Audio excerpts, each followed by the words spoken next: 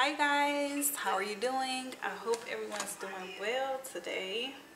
Turn that off um, i'm coming in to give you guys an update.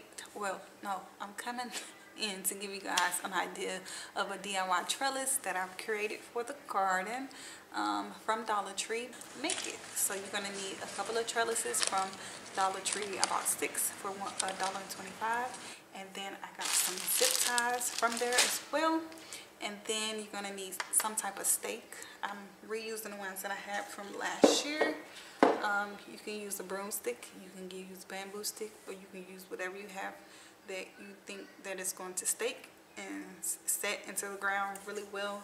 Um, in order to um, stand your trellises up on. So I laid out my trellises and I lined them up how I wanted them to um, be layered on top of one another and then I just went in and layered each one uh, three on each side of each stake and staked them down to each side and then I just simply put them together um, after I staked them down each side, three on each side, put them together, stake, uh, zip tied them down the middle, uh, and then I stood it up and just went back in and gave extra support with zip ties where I um, saw it may have needed a little extra support. Um, and then just simply went in with the wire cutters and cut off the excess uh, wires that were sticking out that I didn't want.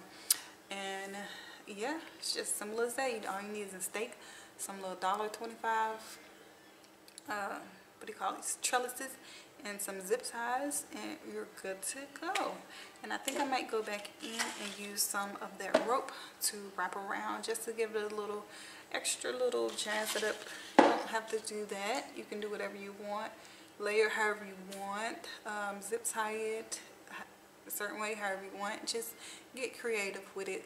I'm just trying to do is give you a general idea of what what you can use to make um, uh, with the trellis from Dollar Tree instead of you know spending a lot of money on just one type of trellis. If you're trying to save your coin, this is a very inexpensive way to go about it. It was what six dollars some change for six and get some stakes maybe two three bucks from home depot or whatever or whatever you have in your yard.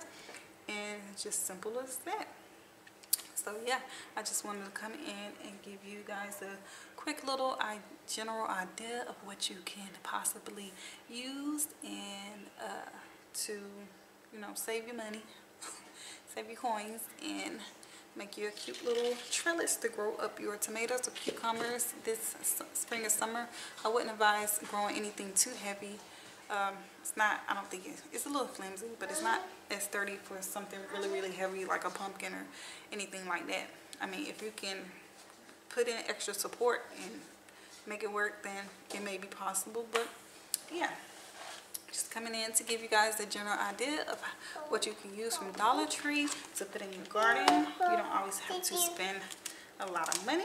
So I just hope this helps and inspires someone to just go out and start a seed, start a garden, inside, outside, wherever you see fit. Just go to the pot, throw a seed in it, and wait because it requires a lot of patience as well.